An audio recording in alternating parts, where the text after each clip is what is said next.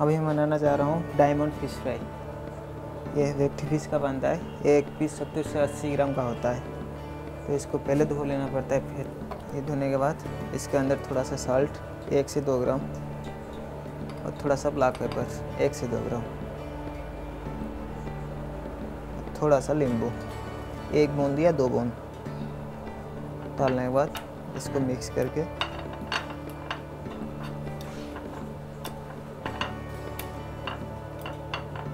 दो तीन मिनट के लिए रख देना है। अब इसका मसाला बनाना जा रहा हूँ। ऑनियन पेस्ट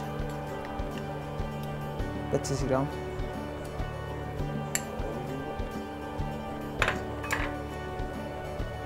लहसुन पेस्ट, पंद्रह ग्राम। अदरक पेस्ट, पंद्रह ग्राम।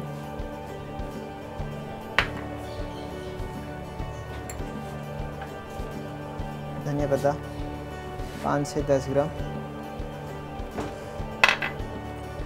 पुदीना पत्ता, पाँच से दस ग्राम।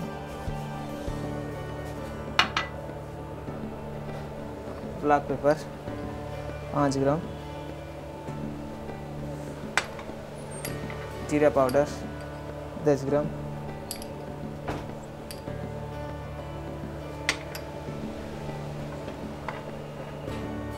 नमक, पाँच से छः ग्राम। चीनी, पाँच से आठ ग्राम।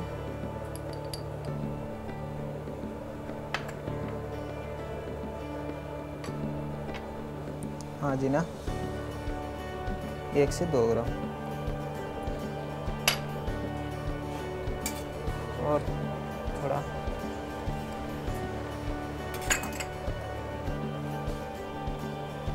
थोड़ा नींबू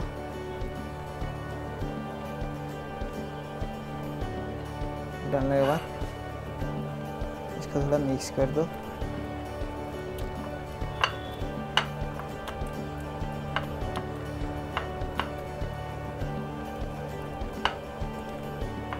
मिक्स करने के बाद 10 ग्राम चिली सॉस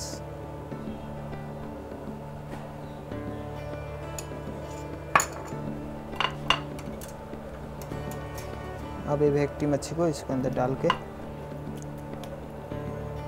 इसको मिक्स कर लेना है।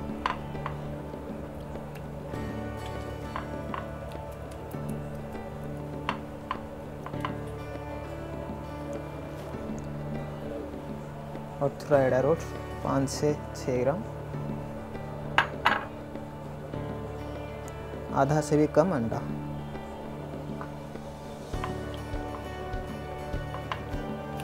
और इसको मिक्स कर लिया।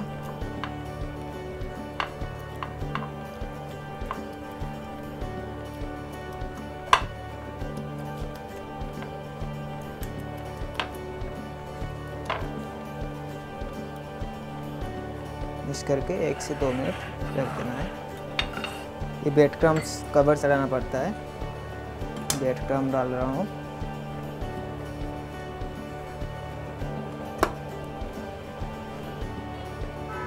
ब्रेड क्रम डालने से।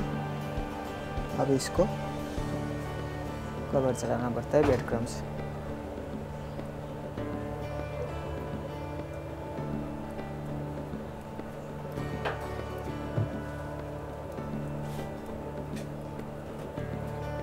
अब इसमें मसाला ज़्यादा देना है तो मसाला ज़्यादा दे सकते हैं, कम देना है तो कम दे सकते हैं।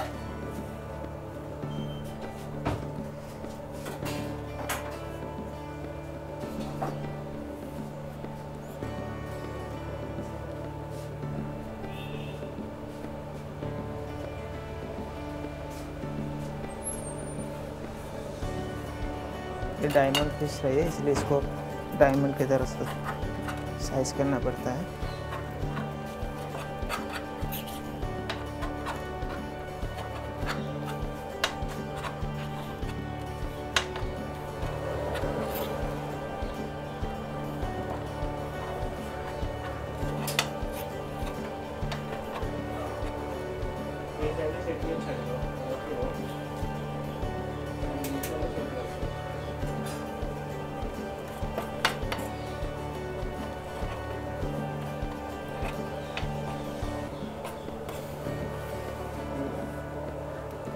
ये अब डायमंड साइज़ हो गया डायमंड फ़िश फ्राई अभी इसको फ्राई करना पड़ता है। फ्राई करने जा रहा हूँ। ये रिफाइंड ऑयल रिफाइंड ऑयल ये 500 से 600 ग्राम तेल है। इसको अच्छी तरह से गर्म कर लेना पड़ता है। गर्म करने के बाद इसको छोड़ देना है।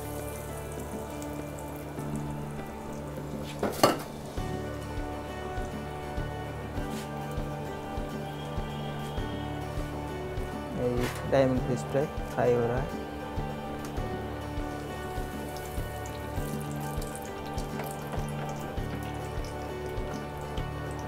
मैं इसको ज़्यादा रेड नहीं कर रहा हूँ। ब्राउन कलर ही निकाल ले रहा हूँ।